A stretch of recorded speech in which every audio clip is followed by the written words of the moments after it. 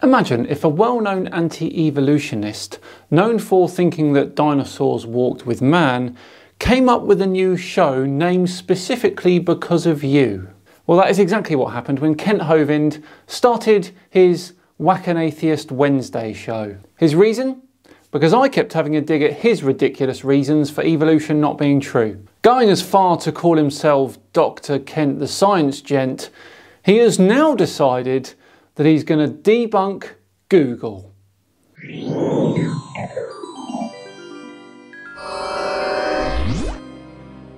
Hello all and welcome along to another episode of Tin Tinfoil Tuesday with me, SciManDan. Thank you very much for joining me. Yes, Kent Hovind and I have had a few back and forths over the last year, which culminated in me offering to go over to his dinosaur adventureland and debunk him in person if he passed a short test. Well, he dodged that and decided to debate conspiracy cats instead. I'm not sure if he was prepared for that. Recently, Kent has decided in his infinite wisdom that he's going to take on Google regarding evidence for evolution. We simply have to watch this one, don't we? Let's watch Kent as he warms up. Well, Google and all the people writing the uh, software for that are still presenting the same old tired arguments for evolution. Fossils provide solid evidence that organisms from the past are not the same as those found today. Fossils show a progression of evolution. No, they do not. Yes, they do. Just saying no, they don't doesn't make it true. Fossils show that something died. End of story.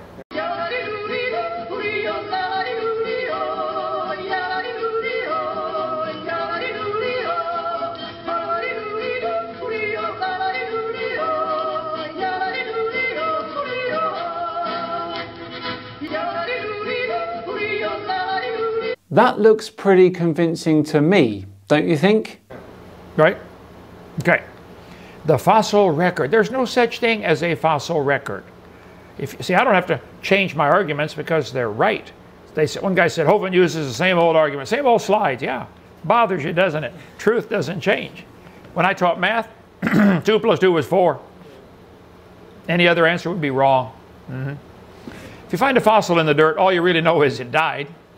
Well, yes, but you can figure out so much more in today's day and age. They can tell us how the organism died, and they can tell us how long ago it lived. They can infer its size, its shape, its diet, even what its internal organs were like. You don't know it had any kids, and you sure couldn't prove it had kids that lived. Yeah, I found a fossil. This one had seven children. Right, you can tell that from the bone. Well, no, but that's not what happens anyway. As usual, Kent, you're thinking in timescales that are way too small. And, the, and they lived, and what color tennis shoes they had on? Okay. You could never prove it had different kids other than its kind. Why do evolutionists claim bones in the dirt can do something living animals cannot do? You say, where's the animals today producing something other than their kind? And that is something that is never said or expected. The change is gradual. There's a reason why Richard Dawkins named his book Climbing Mount Improbable. It's similar to watching your children grow. From day to day, you won't notice a difference in how they look, but after 10 years, they'll look very different indeed. I mean, we had two cows have a calf in the last month. Guess what? It's going to grow up and be a cow. And why wouldn't it? But make no mistake, cows are still evolving, just very, very slowly. Our chickens have a lot of eggs, and when we let them hatch, guess what they turn out to be? Breakfast? Chickens. Ah, yes, of course. Our parakeets, one of them just laid a bunch of eggs, about 10 of them, I think, 10 eggs in there. I, I would be willing, before we even open the egg, I'd be willing to bet what's in there. A T-Rex. A T-Rex, that's right. Where is the evidence of any fossils forming today? Where is the evidence of any animal producing offspring other than its kind today? Well, this is all down to whether or not you know how fossils form. And the main way that happens is if an animal dies and is buried in mud or silt.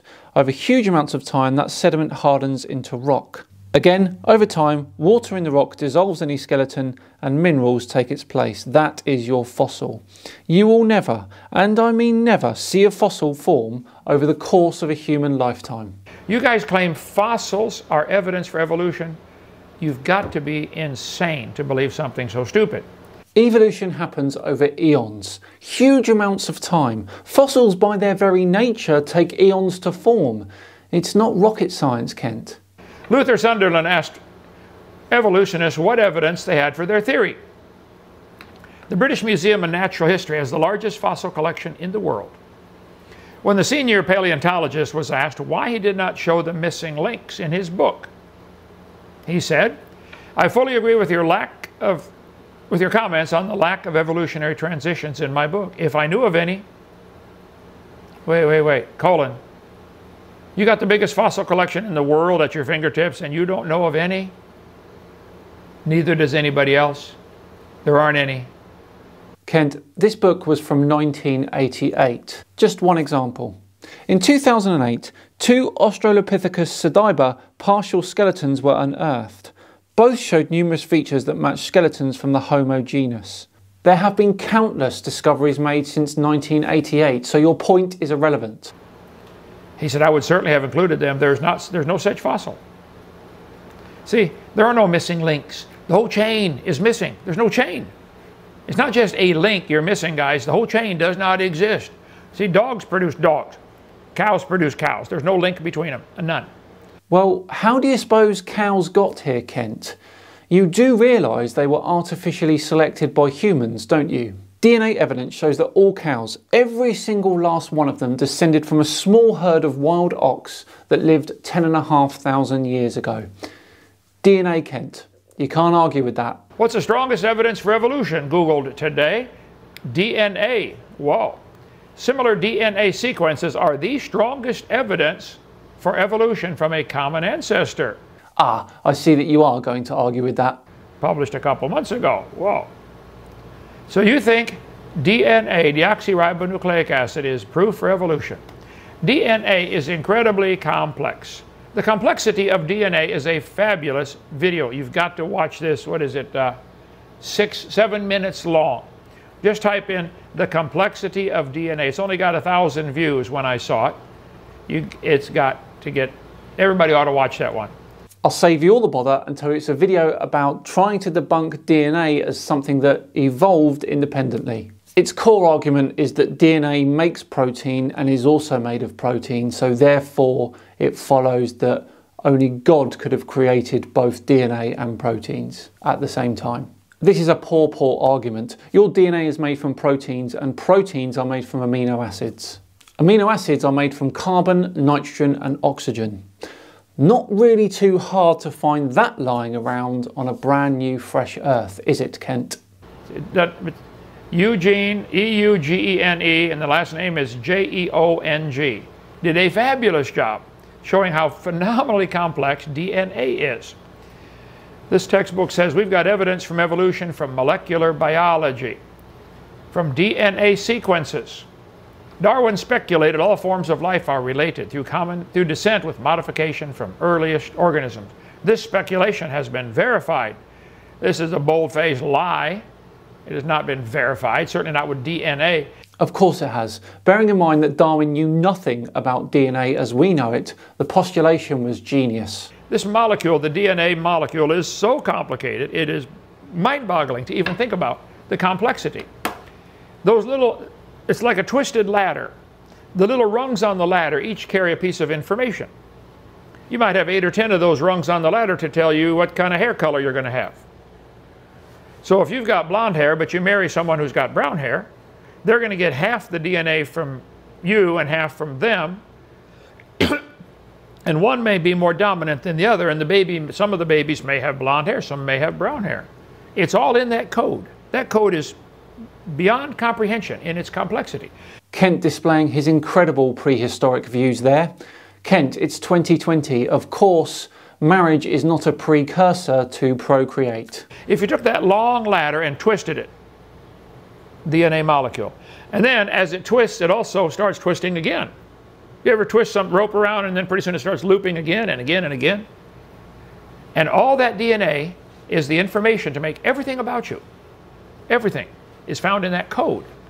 And I assume that it's a coincidence, is it, that chimpanzees' code matches 99% of ours? Of course, Kent waffles on a bit more about DNA, explaining that something this complex could only ever have been created. Time is the best creator, Kent.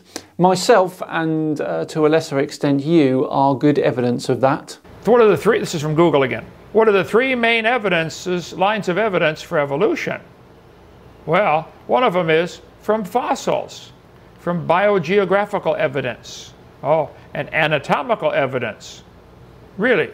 Is that the best main lines of evidence for evolution you guys can come up with from PBS? Yep.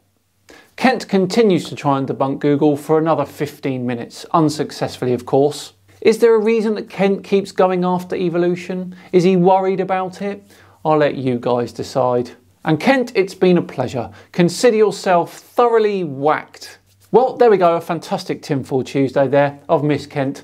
If you enjoyed it today, then please, please do like the video and give it a subscribe as well if the feeling takes you. I've been SciManDan, have yourself a great week, and I'll see you all on Friday for some high profile debunking. See you all then.